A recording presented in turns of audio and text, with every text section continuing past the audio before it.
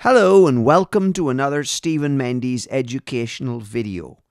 Today we're talking about the entry mode for the HP calculator family and there are three entry modes that we're looking at. The equation that we're going to be putting in is shown.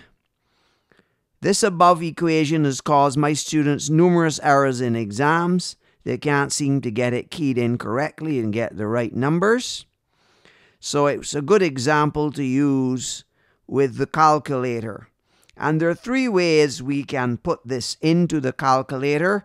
We can use RPN, we can use algebraic entry mode, or we can use the equation writer application. So let's get started. If we're going to enter it in the RPN mode, we have the calculator in the RPN mode and the keystroke sequence is shown below. So go ahead if you have an RPN calculator and try it and you'll see that it's correct. For zeta value, you can enter uh, 0.5 or you can actually have a variable and if you do it right, you can get one keystroke for the zeta value, a single keystroke for the zeta value. But in my case, when I was entering, I just put 0.5. So I use that for my zeta value. Now, after we use the RPN mode, you will notice that there is no parenthesis and a no equal sign. We enter the values before the operators. So notice that we put in the zeta value and the pi before entering the multiply to multiply them together.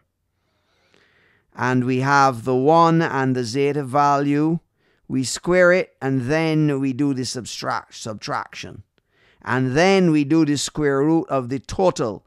So RPN accumulates our intermediate answers on the stack and by the time that we press the by the time that we press the square root key we have got the whole thing accumulated in that uh, first line on the stack. That gives us a square root. And when we press the divide key it divides the top which is in the stack level above by what we have done our square root. So by accumulating the entries in the first and second stack levels Notice that when we push the one enter and the zeta value we created, that enter key created another level on the stack.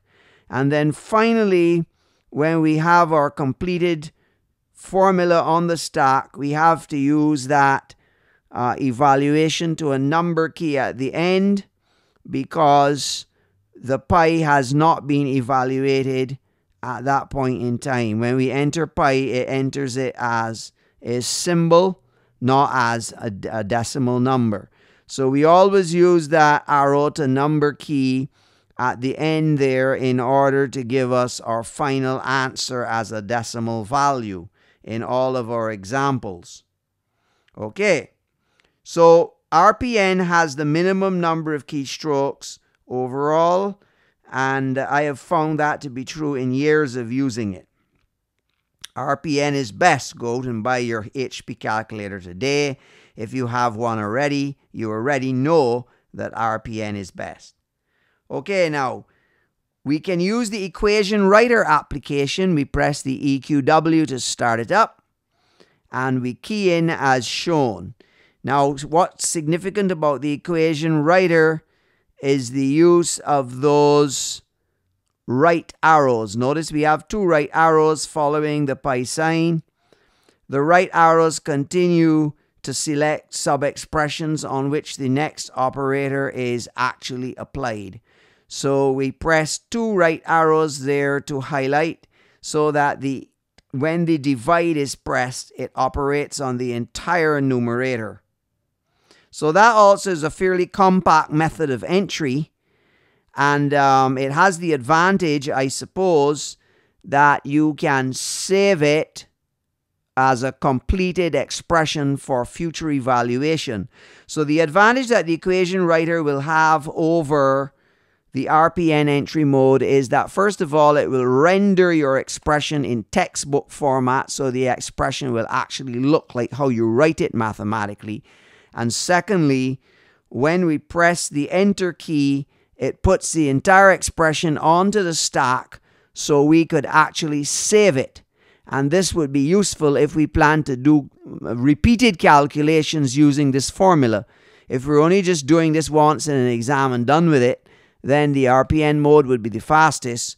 But if we want to save the entire expression so that we can evaluate it for different values of zeta, we have a lot of it to use, then we will use the equation writer. And once again, to get all the answers together the same, we, ex we evaluate the uh, first level of the stack using the number operator at the very end.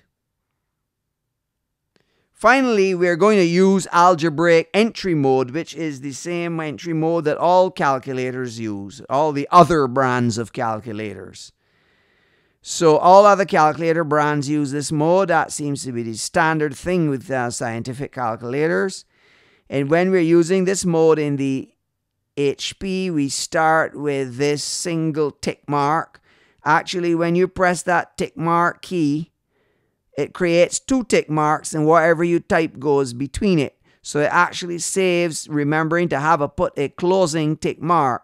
And whatever is contained between the tick marks is your algebraic expression. So as you type now, you find that when you type the uh, exponential key there, instead of um, evaluating or doing it the way it would do in RPN, it now simply enters the character and it also puts in the brackets. So we even in, in the HP, we even have an advantage over other calculators. We do not have to enter all the parentheses. These keys help us by putting in the parentheses for us. And when we get down here, we have one parenthesis key, which I've circled in green, that enters a pair of parentheses so you don't have to remember to put the closing parenthesis as a separate keystroke. But we need one, um, one extra parenthesis key here for this particular expression. And uh, when, we, when we enter the x squared key, that actually puts in our parenthesis there for that.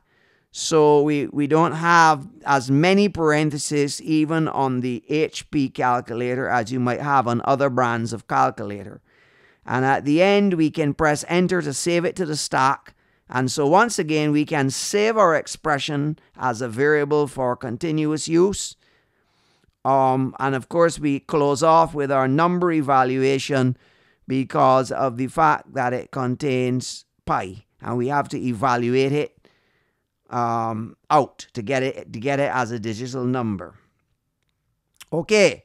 So how does it, how do these various three entry methods stack up? Well, just counting what I have written there, we have an equal tie on the RPN and the equation writer, and we only have one more keystroke for the algebraic. So that's a summary of the keystrokes. But this is not the total picture because in some cases you've had to use the right shift or the left shift key. For example, to get the EX key, which is shown as a little square block there, you actually have to use the shift key because it's a shifted key.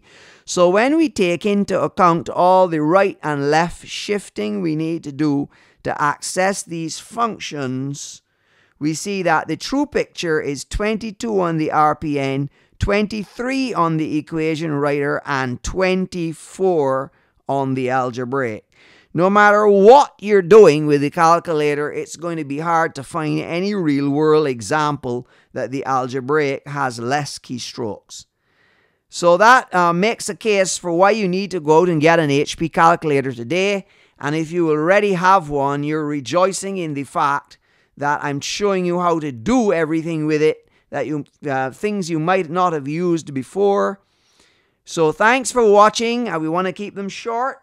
See you in the next HP Calculator video.